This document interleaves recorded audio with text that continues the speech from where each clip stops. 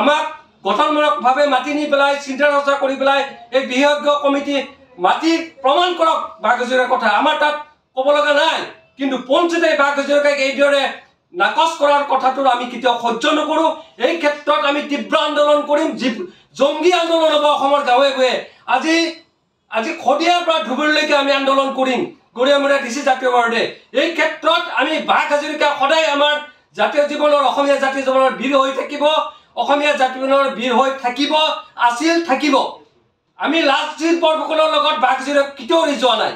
লাচিত বৰফুকন লাচিত বৰফুকনেই লাচিত বৰফুকনৰ লগত বাঘ কেতিয়াও আমি নাম লোৱা নাই। আমি লাচিত বৰফুকনক অসমীয়া জাতীয় জীৱনৰ স্বাভিমান অসমীয়া জাতীয় জীৱনৰ বীৰ অসমীয়াৰ সত্তাৰ এটা অংগ বুলি ভাবোঁ বীৰ লাচিতক। কিন্তু আমি লাচিতৰ লগত আমি কাল্পনিক শব্দ কৰাৰ কাৰণে আমি বৰ্মাহত হৈছোঁ বাঘ হাজৰিকাক বাঘ হাজৰিকাক অকল গৰিয়াৰ এটা জনগোষ্ঠীৰ নেতা বীৰ হিচাপে আমি যেতিয়া মানিছোঁ সেইকাৰণেই তেওঁলোকে আজি নস্থাত কৰিব বিচাৰি বিচাৰিছে নেকি? সেই কথা আমাৰ সন্দেহ হৈছে।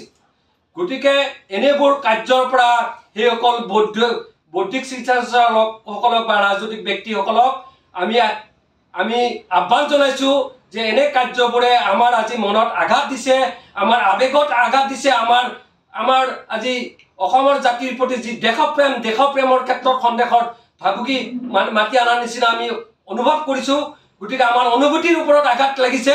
গতিকে আজি আমি সেইসকল ৰাজনৈতিক আৰু বৌদ্ধিক লোকসকলক ক'ব বিচাৰোঁ যে আপোনালোকে পৰৱৰ্তী দিনত এনেবোৰ কথা কৈ যাতে আমাক ভয় নোখোৱাই পৰৱৰ্তী কথা কৈ যাতে এনেকুৱা ধৰণৰ কাৰ্য পুনৰ নকৰে তাৰ কাৰণে আপোনালোকক বাৰম্বাৰ আমি আহ্বান জনাইছোঁ এই মঞ্চৰ পৰা। পৰৱৰ্তী দিনত এনে কাৰ্যৰ পৰা আপোনালোকে বিৰত থাকক। এই কথা আমি গৰিয়ামৰীয়া ডি চি জাতীয় বোৰ্ডৰ মঞ্চৰ পৰা আজি সেইসকল ব্যক্তিক আমি আহ্বান জনাইছোঁ।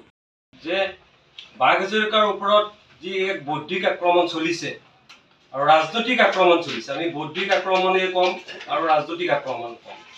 এই বৌদ্ধিক আৰু ৰাজনৈতিক আক্ৰমণৰ কথাৰ ক্ষেত্ৰত আমি এটা কথাই প্ৰকাশ কৰিব বিচাৰোঁ এটাই মানে সকিয়ানি দিব বিচাৰোঁ যে এনেবোৰ কথাই গৰিয়ামৰীয়া দেশীসকলৰ স্বাভিমান আৰু আবে আৱেগত আঘাত নিছে। যি গৰিয়ামৰীয়াসকলে আজি অবৈধ প্ৰবজন আৰু বৈধ প্ৰবজনৰ হেঁচাত আজি গৰিয়ামৰীয়াসকলৰ অস্তিত্ব বিপন্ন হৈছে। আজি গৰিয়ামৰীয়াসকলৰ নিজৰ পৰিচয় বিপন্ন হৈছে। তেনেকুৱা সময়ত অবৈধ প্ৰবজনৰ বিৰুদ্ধে আমি মাত মাতি আহিছোঁ। আজি মুছলিম মৌলবাদৰ এগেইনষ্টত আমি কঠোৰভাৱে আমি মাত মাতি আহিছোঁ। আজি জেহাদীৰ এগেইনষ্টত আমি মাত মাতি আহিছোঁ। আজি সাম্প্ৰদায়িক শক্তি মুছলিম সাম্প্ৰদায়িক শক্তিৰ বিৰুদ্ধে আমি মাত মাতি আহিছোঁ। আজি সেইবিলাকৰ কাৰণে আজি আমাৰ পৰিচয় সংকট হৈছে। আজি আমাৰ জনগোষ্ঠীয়ভাৱে আমাৰ যিটো পৰিচয় সেই পৰিচয় সংকটত ভুগিছোঁ। কেনেকুৱা সময়ত আমি চৰকাৰৰ ওপৰত আস্থা ৰাখিছিলোঁ আৰু বিজেপি দলৰ ওপৰত আমি আস্থা ৰাখিছিলোঁ? আমি ভাবিছিলোঁ বিজেপি চৰকাৰ হৈ এই থলুৱা ইছলাম ধৰ্মীসকলক তেওঁলোকে যিধৰণৰ আশ্বাস দিছে এই থলুৱা ইছলাম ধৰ্মী গৰিয়ামৰীয়া ডিচিসকলৰ ক্ষেত্ৰত তেওঁলোকে কাম কৰিব।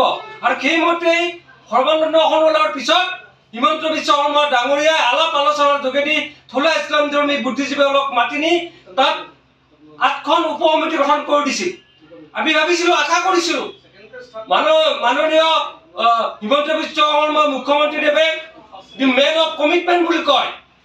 গতিকে তেওঁ যি কমিটমেণ্ট দিয়ে কমিটমেণ্ট ৰাখে। কিন্তু মাননীয় মুখ্যমন্ত্ৰী ডাঙৰীয়াই আমি যিকে আশা কৰিছিলোঁ তেনেকুৱা ধৰণৰ যে আমি আজি যুঁজি যুঁজি অবৈধ অবৈধ প্ৰবঞ্চনৰ এগেষ্টত যুঁজি যুঁজি আজি আজি আমাৰ সৰ্বহাৰা হৈছোঁ আৰ্থিক ৰাজনৈতিকভাৱে দিশহাৰা হৈছোঁ তেওঁ সেইবিলাক কথা বিধানসভাত উত্থাপন কৰোঁতে তেওঁক আমি আদৰণি জনাইছিলোঁ। কিন্তু সেইগৰাকী মুখ্যমন্ত্ৰীয়ে হঠাৎ আমাৰ যিজন স্বাভিমান আমাৰ যিজন আৱেগ বাঘ হাজৰিকাক এই ধৰণৰ বৌদ্ধিক আক্ৰমণ কৰাৰ অন্তৰালত কি ৰহস্য লুকাই আছে আমি নাজানো। গতিকে আজি আমি মৰ্মবেদনাত ভুগিছোঁ আজি এই ৰাজনৈতিক চক্ৰত পাক চক্ৰত বা ৰাজনৈতিক ষড়যন্ত্ৰৰ কাৰণে আজি বাঘ হাজৰিকাক যিজনে অচিত্ৰহীন কৰিব বিচাৰিছে আমি গৰিয়া মৰিয়া দেশীসকলকো সংকটৰ পিনে নিবলৈ পৰিছে পৰিচয় সংকটৰ পিনে নিব বিচাৰিছে নেকি? আমি সন্দেহ